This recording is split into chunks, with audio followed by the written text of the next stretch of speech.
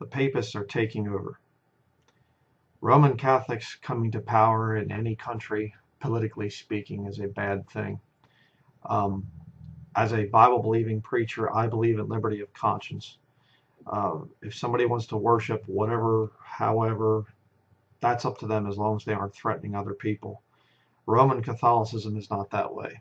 The Second Vatican Council makes it look like they are, like they're okay with separated brethren, but um, it's a smokescreen.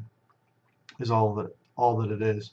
Every Catholic out there is loyal first to the Vatican, their church, in other words, secondly to their country.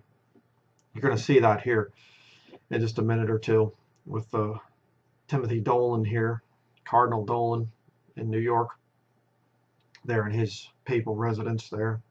And um, you can see the American flag with the gold fringe. It's a military ensign.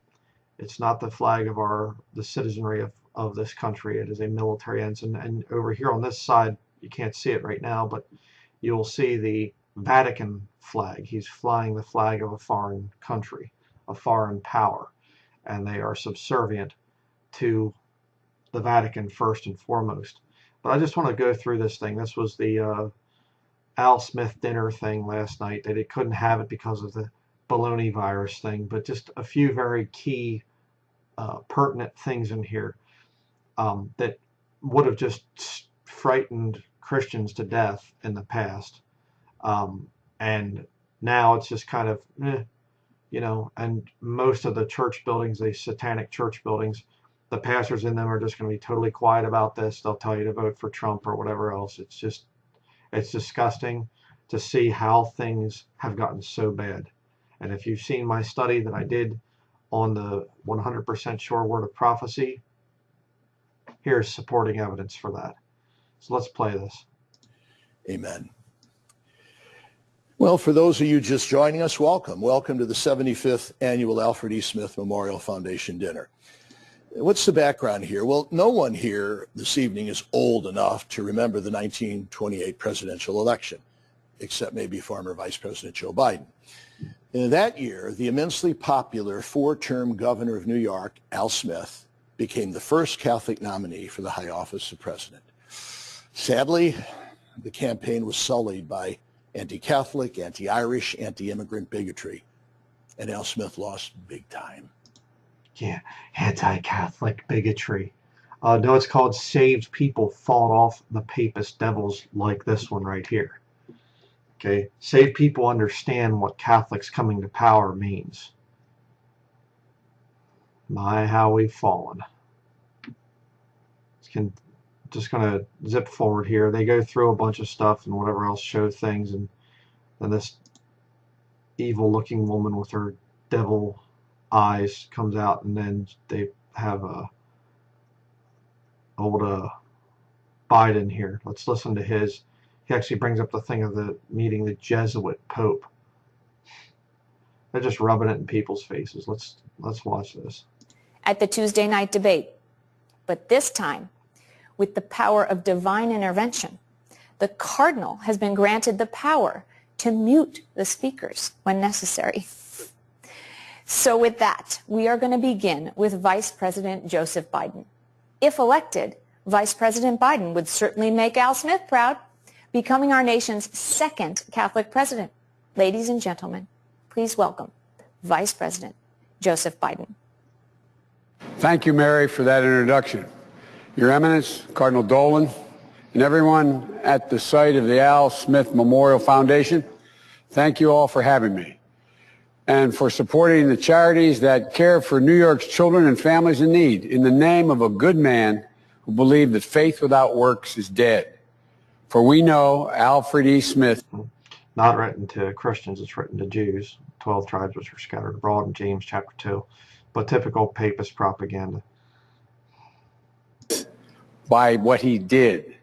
I know there's disappointment that the dinner tonight couldn't continue as normal for us to sit together and put politics aside for a night because these are difficult times for our country. A pandemic, a recession, a reckoning on race, a changing climate. With each crisis, our faith is tested. Faith in our institutions, in one another, in truth, in science, and reason. We have to guard Well, what about faith in Jesus Christ? They're stupid. You know, yeah. Don't mention that. Continue. ourselves from rationalizing that this is normal and from numbing us to the pain and suffering of so many fellow Americans. You know, too many people woke up this morning, went to the kitchen table, and there was an empty chair where just days ago or weeks ago or a month ago, a loved one sat, talking, laughing, sharing their dreams, and now they're gone. Yeah, that's normal reality. Okay. And there's things that are far deadlier than the baloney virus.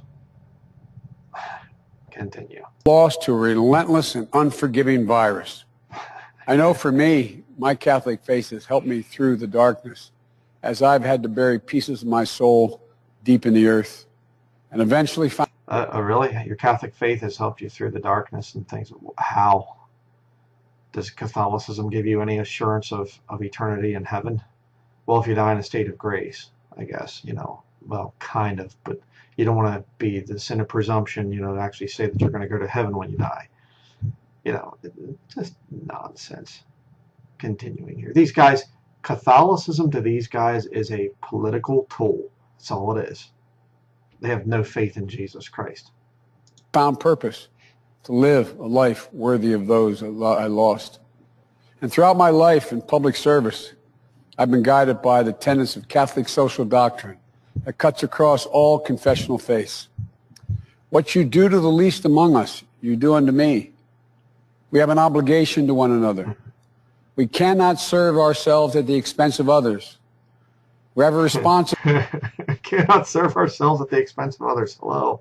Uh, yeah, politicians serve themselves for sale to the highest bidder. Continuing. responsibility to future generations. And that's the charge before us today. I know it's hard to see it right now. Our problems are so systemic. The losses are so catastrophic. At times it feels easy to say, we're done, it's over, what's the point? But the American people don't give up. There is no quit in America. Mark my words. Hmm. One day we'll look back in awe not at how far we fell, but how fiercely we fought back as a country. And that sense of hope and possibility. Well, you know, if you actually read the Bible, you would see that no, there is no Western superpower called America in the end times. But uh, let's not confuse things with the scriptures that Jesus Christ gave. reminds me of the first time I met Pope Francis in 2013 when I had the privilege of attending his inauguration at the Vatican. When I greeted him, he said, Mr. Vice President, you're always welcome here. He was really sending a message to the world to put out a welcome sign on the front door of our church. Two years later, President Obama and I welcomed him at the White House. At that same moment, we shared a sense of hope and possibility together. And for me, it came at a very personal moment, a very tough time in the life of my family. Our son Bo had just died a few months earlier. But Pope Francis took the time to meet with my entire family to help us see the light through the darkness. And what was that light through the darkness? Did he preach the gospel? Of course not. Pope Francis doesn't know what the gospel is. Continue. live in an amazing country. We all live in an amazing country. Where an Irish Catholic kid like me from Scranton, Pennsylvania would one day befriend a Jesuit Pope. Why did he have to say Jesuit Pope? Why couldn't he just say the Pope? Yeah, these guys are all tied into the Jesuits. I say it, I prove it. Eh, whatever.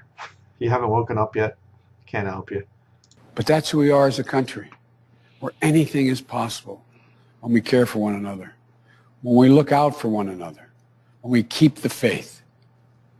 May God bless you all, and may God bless America. Why? Why would God bless you all, and why would God bless this wicked, disgusting nation?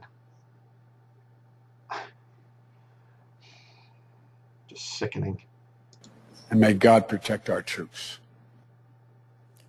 Thank you so much, Mr. Vice President. Thank you for making the time. I know it's a very busy week and it's very special to hear from you. And now we're going to turn to our next speaker. It feels like a lifetime ago that the Cardinal and I sat between Secretary Clinton and President Trump. Four years ago, as Cardinal Dolan said, it was the iciest place on the planet. This year, President Trump told us he wants to toast, not roast. Let's hope for that. The president might not publicly discuss his faith very often, but I have heard it said that he alone has gotten more liberals to pray to God than any other president or cardinal in recent history. Ladies and gentlemen, please welcome the President of the United States of America, Donald Trump. It is a profound honor to address the 75th annual Al Smith Dinner. For generations, this wonderful event has been a revered institution in New York and New York life. I fondly remember attending with my father a long time ago. I was a young man, but never forgot it. This organization's incredible tradition of Catholic charity exemplifies the very best, not only of this city, but of this country. I want to thank Cardinal Dolan, a very special man, for his extraordinary stewardship of the Archdiocese and for his deep dedication to God and to our nation. I also want to thank him for all of the help he's given me. And so Deep dedication to God and our nation. Uh-huh. No, to the Vatican. Okay. His dedication isn't to this country. And his God is not Jesus Christ. It's a pagan trinity. Continuing. so many things and so many different ways. Thank you very much, Cardinal. We very much appreciate it. Let me also thank Mary Erdoes and the entire Alfred E. Smith Memorial Foundation. As you know, tonight's Al Smith dinner is unlike any other, sadly. Our country and the entire world have been struck with a once-in-a-lifetime global pandemic. China shouldn't have let it happen, but it did. When the virus came in from China, we saw New Yorkers respond with a same grit and tenacity, courage and selflessness that have always defined this city that we love so much. Doctor You know, if you live in New York City, uh, you should really be insulted by these guys. If you're aware, if you're awake to what goes on, they've been just they've been just destroying New York City and killing people there all the time with 9/11 and the firefighters that went in and breathed in the toxic chemicals and stuff, and then they don't get health care coverage, and these guys don't care, you know. Tenacity and grit. Uh, yeah, they're trying to kill people there, laying them off like crazy, you know defunding the police when they, we care about you tenacity and grit yeah Doctors and nurses worked around the clock. The heroes of the New York PD, NYPD, we love them and they endorsed me, so I like them even more, but they are great. New York's finest. And the FDNY, the bravest. They are the bravest. They're great. I know them all very well. And other first responders risk their lives to save others. And of course, the Catholic community and the men and women of the New York Archdiocese answered the call and frankly answered it like nobody else could.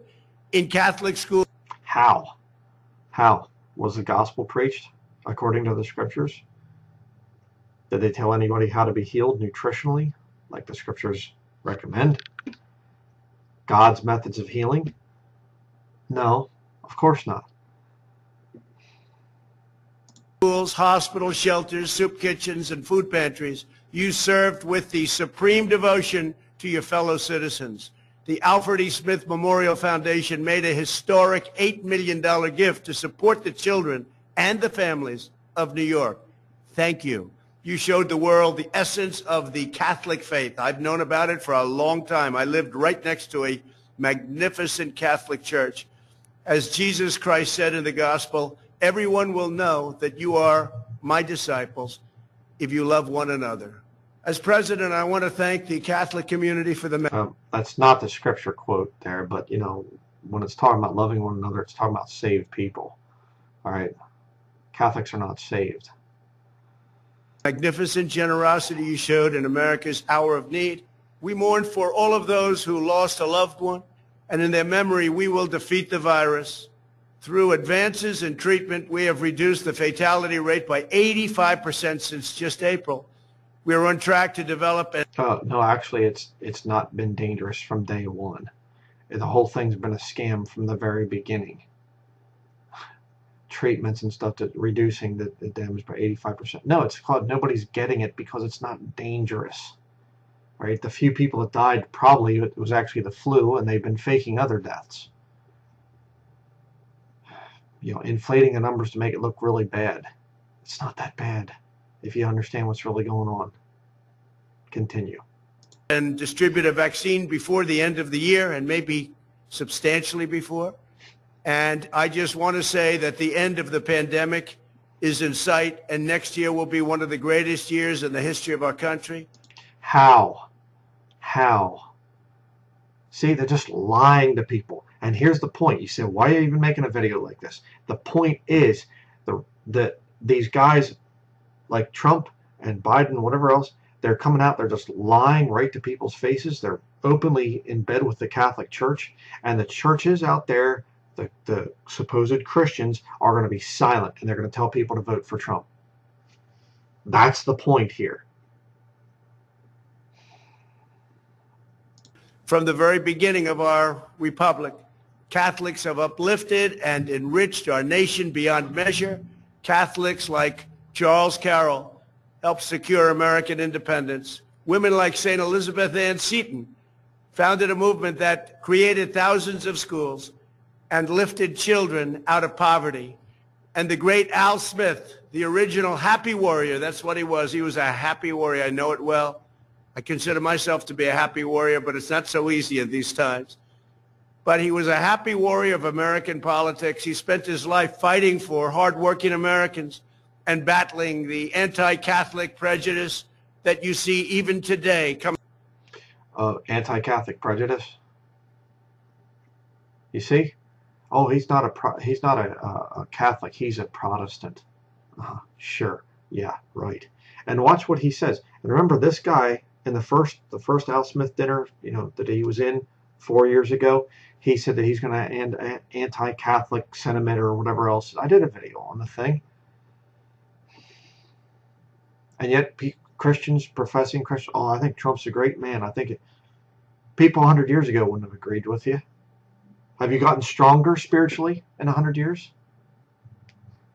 Just disgusts me. But, you know, he's going to blame anti-Catholic people. You're a Democrat. Watch. Coming out of the Democrat Party. Today, this amazing group continues that proud tradition of faithful service. Your work reminds us of an essential truth in this country, civil society, and especially our religious institutions, are an essential foundation of American freedom. Our nation is strong. Then why'd you let them get shut down? Because of Catholics and, frankly, people of all faiths. That is why, as president, one of my top priorities is to defend religious liberty and the cherished role of faith and faith-based organizations in our national life. Yeah, but you uh, allowed the church buildings to be shut down because of the baloney virus. he's, he's going to defend religious freedom. Uh-huh. They just took it away for a few months. oh, it's crazy. To protect your God-given rights, I was recently honored to nominate one of our most brilliant legal minds, Judge Amy Coney Barrett, to the United States Supreme Court, and that was an honor indeed. She is a proud graduate of the University of Notre Dame Law School, where her professor, one of the most respected anywhere in the country, said she was the single greatest student he has ever had in his class. We will not stand for any attacks against Judge Barrett's faith. Anti-Catholic bigotry has absolutely no place in the United States of America. Anti-Catholic bigotry has absolutely no place in the United States of America. Hmm. Where's the outrage that's going to come from that statement right there? Where's the outrage from the Baptist preachers, from the Pentecostals, the whatever, go down through the supposed, you know, Protestant type denominations? Where's the outrage? They're going to be out voting for this man. To say that anti-Catholic bigotry has no place in the United States. It predominates in the Democrat Party, and we must do something immediately about it, like a Republican win. And let's make it a really big one. To support the noble mission of Catholic schools, my administration is working to advance school choice. It was my great honor to help the Catholic Church with its schools. They needed hundreds of millions of dollars nationwide, and I got it for them. Nobody else. I got it for them. I hope you remember that on November 3rd, but I got it for them. And it was an honor to do it. I did it at the request of Cardinal Dolan and others of your leaders. They really needed it. We took care of that situation. Very important. We're once again standing with Catholic charities and healthcare providers such as the Little Sisters of the Poor. We've been with them all the way in this long fight. We are fighting for Catholic adoption agencies and fighting hard. And we are defending the sacred right to life. Remember that when you vote. That's so important and so important to the Supreme Court. Every child, born and unborn, is made in the holy image of God. Few institutions in history have done more for New York. Not true. Um, you're made in the image of Adam. Adam was made in the image of God. But why squabble over details? I guess I'm being anti-Catholic by, you know, speaking against a pro-Catholic president. Yeah.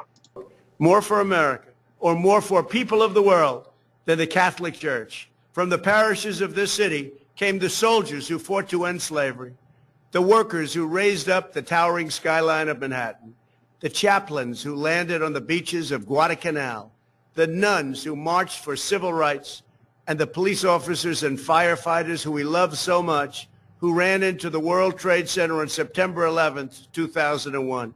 Now more than ever, our nation needs a renewal of the values that this organization promotes and that the Catholic faithful live out each and every day in peace. We love the Catholic people. We love the Catholic religion. And above all, we respect it greatly. Shouldn't there be red flags going off? Where are the uh, Protestants out there? As president, I will always support you in your effort to serve our fellow citizens and to lift up all humanity. I will protect the Catholic Church, and I will defend the rights of religious believers of every race, religion, color, and creed. Thank you once again to the Al Smith Memorial Foundation. God bless you, God bless New York, and God bless America. Yeah. And there you see this monster, this sick devil. There he is, right beside the Vatican flag. That's who he's truly loyal to. So, just wanted to do this video. Brother let me know about this whole dinner thing. And uh, there's not going to be any outcry among the conservative, you know, Baptist types and whatever else. They'll go right on. They'll go out and vote for the man and whatever else. Catholic Church has taken over this country. And um, I'm prepared to die. It doesn't matter to me. That, that's, that's not important. I, I serve Jesus Christ. Um, and I will never be a Roman Catholic, ever. Um, whatever, doesn't matter. But, you know, just a, wanted to do this video just to confirm that the King James Bible is correct and what prophecies are there that the Catholic Church will come to power. Um, absolute truth. So, you know, if you want to be a coward and go along with the whole system and, and Trump, Trump, he's our man, whatever, go ahead. Um, as for me and my house, we will serve the Lord and we will not ever join Roman Catholicism. Period.